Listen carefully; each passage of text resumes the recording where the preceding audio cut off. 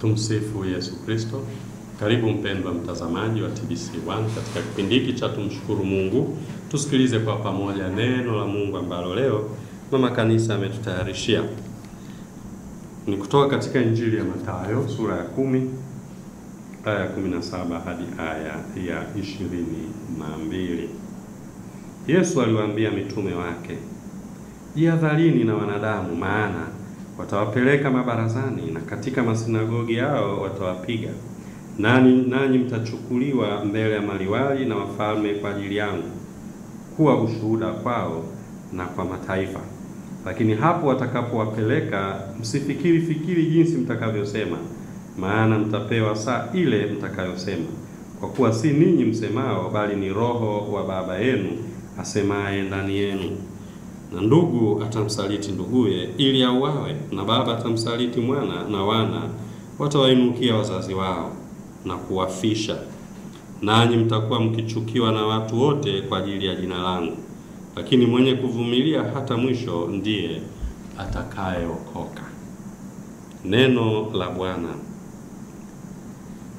Katika siku hii ya leo, mara baada ya kusherekea siku ile aliyozaliwa Bwana wetu Yesu Kristo, tayari tumeingia katika kipindi cha Noeli, kipindi cha Christmas. Ni kipindi kifupi sana, lakini ni kipindi ambacho kinatukumbusha historia mpya ya Mungu kuingia katika historia ya wanadamu.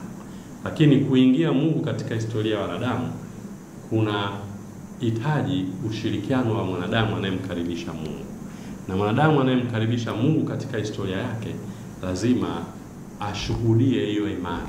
Maanake imani sio tu swala la kupewa kipawa hicho cha kuamini mafundisho ya Yesu Kristo na kanisa lake, bali pia ni kipawa cha kuyaishi hayo yote ambayo yanaambatana na imani na kuwa tayari hata kufa kwa ajili ya hiyo imani. Ndio maana Yesu tangu mwanzo katika mafundisho yake aliwaangalisha kwamba kwa kumwamini yeye watapata shida. Lazima wamshuhudie katika shida, katika raha, yaani kuishi imani. Imani lazima iwepo katika uhalisia wa maisha, na uhalisia wa maisha una sura mbili, una raha na taabu. Ndio maana Yesu aliwaangalisha juu ya taabu. Mwanadamu kwa, kwa, kwa asili yake hapendi taabu. Hakuna mwanadamu anayependa taabu hapa duniani.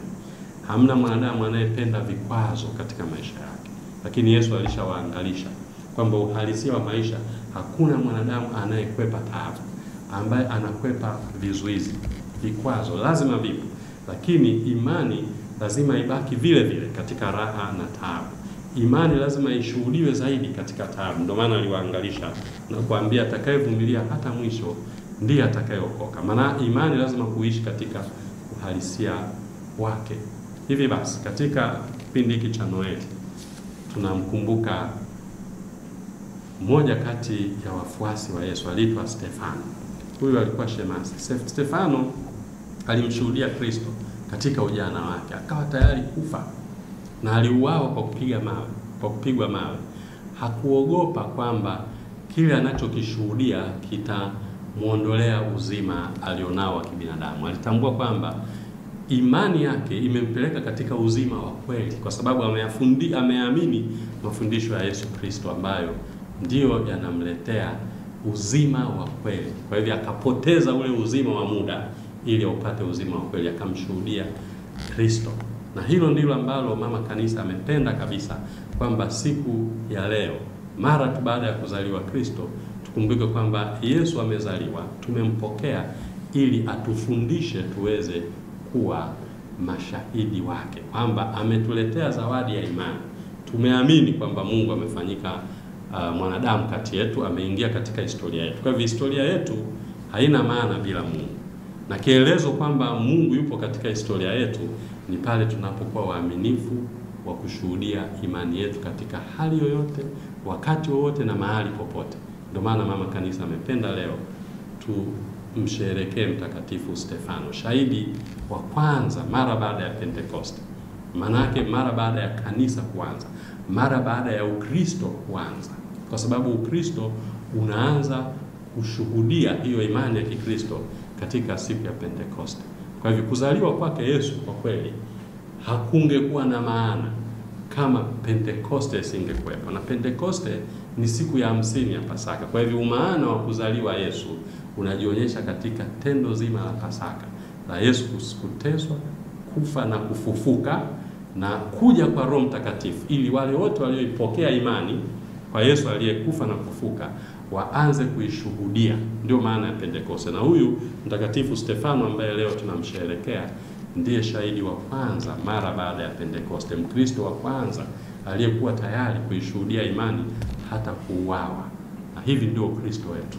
Sisi tunatakiwa tuishuhudie imani yetu kwa kusoma neno la Mungu na kulitafakari kila siku, kwa kusali daima, kwa kufunga, kujinyima mambo ya ziada, kwa kufanya matendo mema, kushuhudia imani yetu katika familia zetu, katika jumuiya zetu, sehemu zetu za kazi, popote pale.